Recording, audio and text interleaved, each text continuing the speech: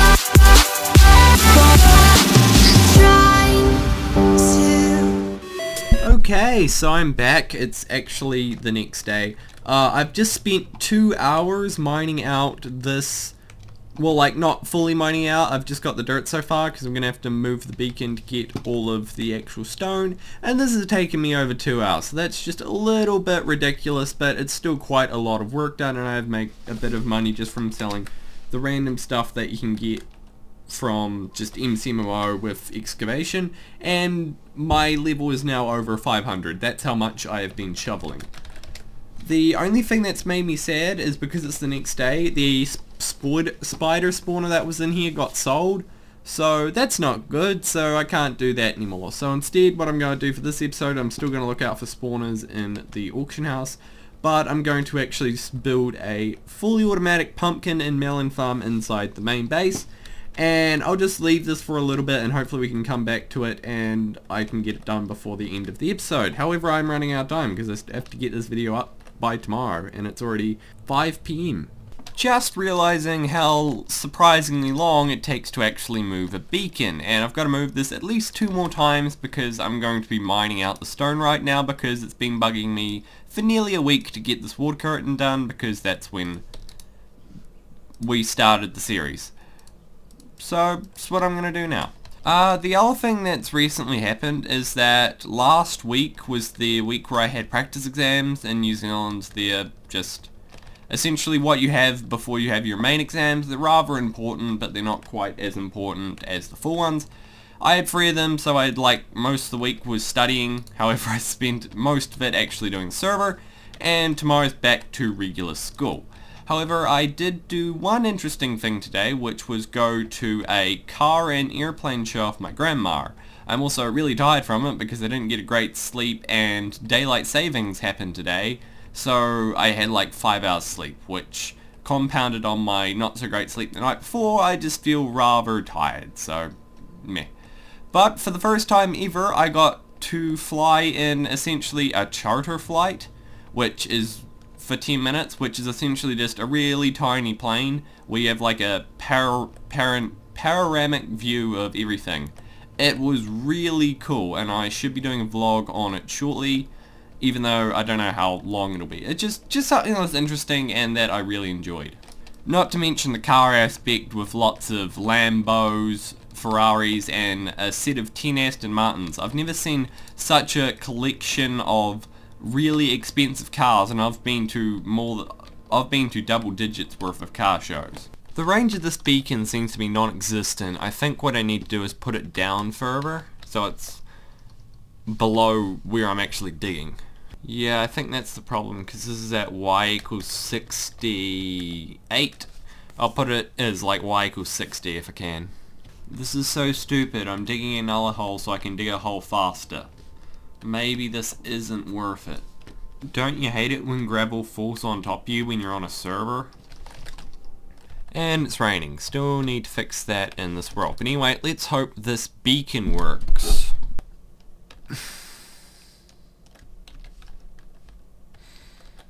nope.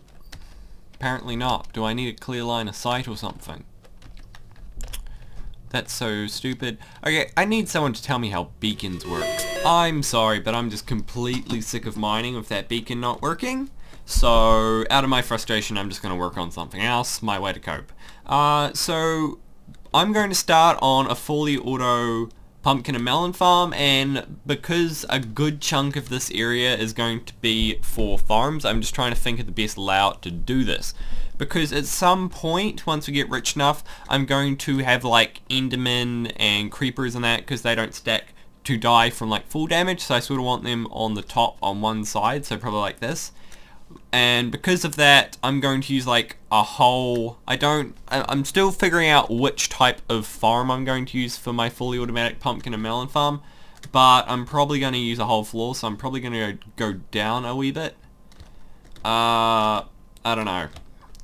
I also keep forgetting I can fly in this so I don't know why I'm using water again just survival version of me uh, so this area here from the top to this block is 30 blocks, so that way it gives me plenty of space to chuck any uh, falling spawners in and anything else like that. So I'll stick other farms below here. However, I am now having second thoughts on the next farm I should do because uh, I was looking at different melon and pumpkin farms and one of the most popular and efficient ones still requires quite a lot of hoppers. Because hoppers create a lot of lag, they are quite they are expensive on the server, so they are $5,000 per hopper. Hopper, so they are definitely one of the rare resources. So we have to be very concerned about them. So I'm probably I'm I'm thinking a cactus farm. I think I'll just do a cactus farm, but like a really big one. Okay, so this is y equals 150 and up there is y equals 180. So I think that should be plenty of space to make a pretty decently sized cactus farm. And the reason I'm thinking of a cactus farm is that all the cactus can fall into like one general area and they can use water to flow around it. Uh, my idea is just to have like the very bottom bit like as a flat water bed and then have above it uh, either like a cobblestone block and then sand on top of it or I can use the vine trick but it'll probably just be cheaper to do cobblestone. So let's try it. For now I'm just going to fill in the floors. Okay, actually because I want my base to look really good at the end and I'm going to put water on the bottom, uh, it is going to be very annoying to rip it up if I am going to build on there later on. So I think I'll just do like a relatively random pattern of green just as the floor uh, like a textured pattern see how that looks I am definitely a very bad builder some it's a skill I want to improve on so that's what I'm going to try apparently I can't type properly. I think my internet might be dying on me because my ping has just shot up to 600 before. I think it's getting better now though. Okay, I really feel like I have no idea what I am doing, but this seems to look not bad. That's about all I can say. My idea was to have a flat layer of clay like this and then put glass on top of it. Uh, no, actually, I think I'm just going to skip on the glass. That's also not very space efficient either. Uh, building is so hard. the one thing I've learned in life is that the things that look easy, uh, unless you can actually try and do them, you once you finally start doing them, you really get a next level appreciation for what they do. Mostly, like Minecraft builders, sure it may it may not sound great, but I couldn't do it. I really couldn't. The one thing I wish they would add to the game is where you could instant mine cobble the same way you can instant mine stone. Just would be nice. Still have no real idea what I'm doing, but again, it's still not looking too bad, and if it's not looking too bad, then that's pretty good for me. Okay, I finished the floor. Again, like everything, takes longer than you'd think it would. Who would have thought that trying to place blocks randomly would use so much cognitive effort and thought. Anyway, I don't think it looks too bad. Uh, I'm pretty certain if I start placing glass on top of it, it's gonna just make it look worse. And I'm placing this even worsely random than I was before. I think I'm just gonna leave it as the clay floor because it doesn't look too bad. Uh, I'm also thinking I can make these walls green clay as well. Just, I think that'll make a really nice atmosphere. But because I have all this glass already, what I could do is use it for like the trays of where the water goes into because I'm still going to have to reroute all the water to a single hopper and that's I don't really want it to go below here if that makes sense because I want this to be the roof of the thing below it. I don't know, it's hard to explain. We'll just have to start building. I need to stop dying. By the way, your XP gets turned into an XP bottle when you die, so that's a plus boy, I'm just mining out this cobblestone because I wanted to put these up just up the wall slightly because it's, again, if, if I rebuild this wall later it's going to be hard because with the water on the bottom floor so I'll just do the side as well. It's really weird. It feels like I'm in a hotel sort somewhat standing looking down here. It's really cool. Okay, there we go. I also am going to have to figure out how I'm going to get light in here, but I've got a ton of sand a ton of cactus and I've purchased four hoppers for our collection system which will probably be below here. In fact, I'll probably cut out like a side of this just so I can have a way to route all because there'll be a lot of spawner farms up there so I can just route it down the side if that makes sense. Okay, just finishing up uh, we think I'll explain what I'm doing in just a second. So what I have here is a grid layout. There's 4x4 grid here, here, here, and here. And they'll go somewhat to the center. And I've made a little wall around the edge because I'm going to have hoppers coming down pretty much from everywhere to an area somewhere below here and they can go around the edges on here. I was originally going to have one edge but I put two because I couldn't live with myself of this not being symmetrical. Just OCD on steroids. And I just made this an alternating pattern with the glass and that's where I'm going to be sticking the sand and then cactus on just to give you an example. So this will go like this and then above that will be a slab then the once the cactus grows it breaks goes down into the water and then will go to into a hopper system. So so far looking pretty good. Okay so I'm still trying to figure out the best way of doing this because using water is very finicky.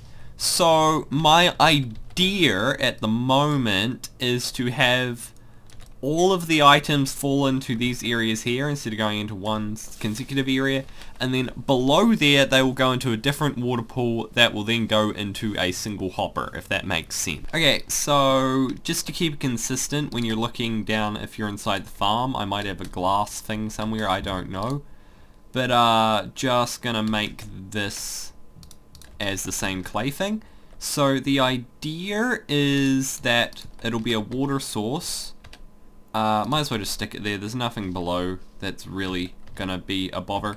uh, and then I'll just use cobblestone and then I'll have them all connect up but essentially once the I reach like the limit of the water what you can do is you can stick stick packed ice under it in an upside down half slab and it'll just keep going so that'll be nice. The only thing that's going to hurt the efficiency of this is because it's such a long water loop chain is clear lag, but we should be fine.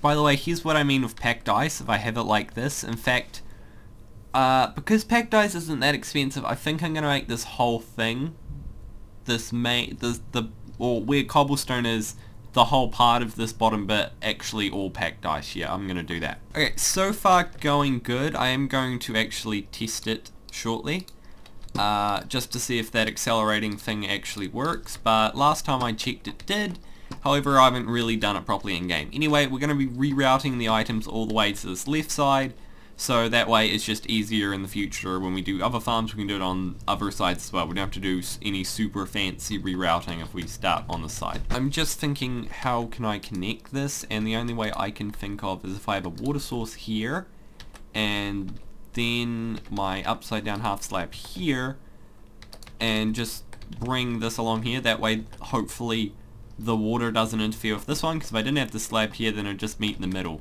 And we do not want that so should be fine. Okay I'm pretty much done. Uh, I am going to again test it. However because I have this horrible packed ice here and I want it to look nice, I'm going to have the roof of the storage area for the, all the spawners one room below here. So this is going to be the roof area and then I will just have a slab to just throw away sand, okay, to represent like the roof because I can stick some chests here and blow it.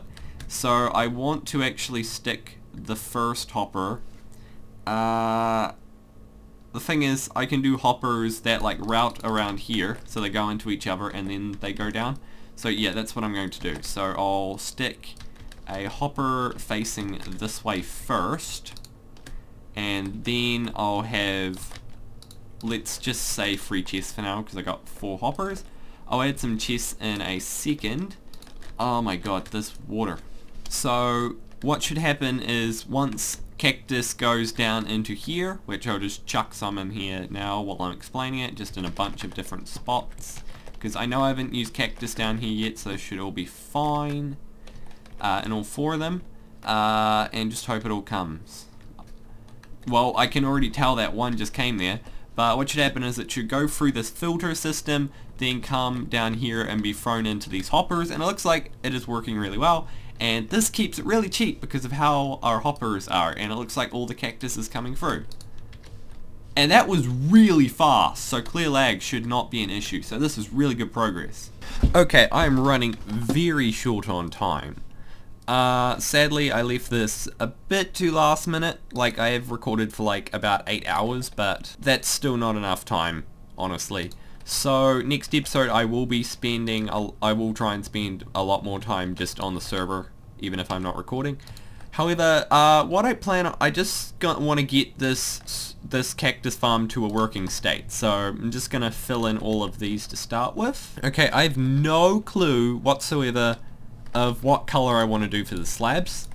So I'm just going to try and take advice from you guys in the comment section, whatever you think would be a good idea. For now, I'm just going to try jungle wood slabs. I really don't know. And if there's any way you think I can improve the look of this, or like you have any ideas for my base, I am all ears because I'm a noob at building. However, I'm very happy with how this is coming along. By the way, that's how the cactus farm works. When they grow, they snap off and then they go into the system. Uh, Flying is super handy. It makes this really, really useful. I'm just going to end the episode here. It is nearly, uh, there's no point building any higher. It is nearly, it's nearly 10.30 p.m. for me at night and I'm super sleep deprived at school tomorrow and I need to edit this video when I get home from school tomorrow if I want it to be up in time. I have no idea how long this video is going to be but I'm quite happy with how this is going so far. So if you enjoyed this video make sure to subscribe. I don't care about Fun fact about YouTube. Um, the likes and dislike ratios don't actually affect the YouTube algorithms at all. There we go. They don't affect the YouTube algorithms at all. They the only thing that determines the algorithm is watch time. So that's why most people don't care about likes and dislikes anymore. And that's from an engineering paper from YouTube. So fun fact. Anyway, don't forget, I now have a new schedule. So I will be continuing on with this cactus farm. So later in the week, actually four days from now, there will be another episode. So really, you should subscribe to that if you enjoyed this video. And you probably do if you've made it this far. So see you next time and goodbye from TNT Madness.